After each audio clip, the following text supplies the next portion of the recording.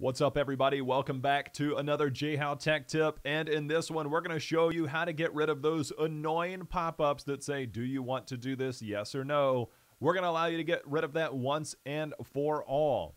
Now, to do this, it's pretty simple, especially if you're on Windows 10. Just go to your control panel. You're going to load that up. You're going to go to your user accounts. Once you're on your user accounts, you're going to click on the user account section here. Next up, change the user account control settings. And this is the one thing that is the bane of your existence. Simply take the slider and take it all the way down to never.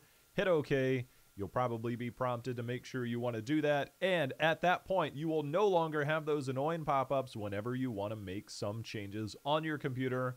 And there you have it.